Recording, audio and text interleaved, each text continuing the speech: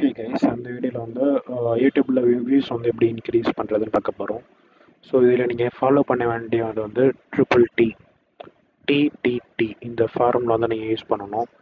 இல்லை first D வந்து title so நீங்கள் டைட்டில் வந்து கொஞ்சம் அட்ராக்டிவாக கேட்சியாக ஆக்கிடும்.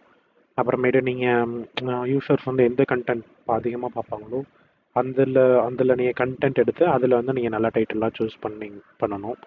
அடுத்து வந்து டேக் நீங்கள் என்ன மாதிரி வீடியோ போடுறீங்களோ அதுக்கேற்ற மாதிரி கீவேர்ட்ஸ்லாம் நீங்கள் டேக் செக்ஷன்னு சொல்லிட்டு ஒன்று இருக்கும். நீங்கள் வீடியோ அப்லோட் பண்ணல ஸோ நீங்கள் நிறைய டேக்ஸ்லாம் நீங்கள் போட்டீங்க அப்படின்னா கரெக்டாக அந்த டேக்ஸ் ரிலேட்டடாக சர்ச் பண்ணியிருப்பாங்களா பீப்புள் ஸோ அதுக்கு அந்த யூசர்ஸ்க்கெலாம் காட்டுவாங்க.